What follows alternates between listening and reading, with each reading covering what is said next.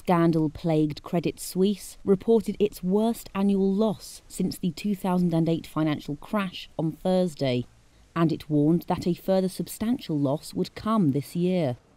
The bank posted a deficit of about $1.5 billion in the fourth quarter and almost $8 billion overall in 2022, marking its second consecutive year in the red.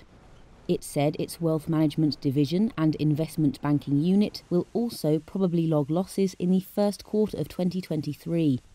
Battered by one scandal after another, the bank saw a sharp acceleration in withdrawals in the fourth quarter, with outflows of over $120 billion.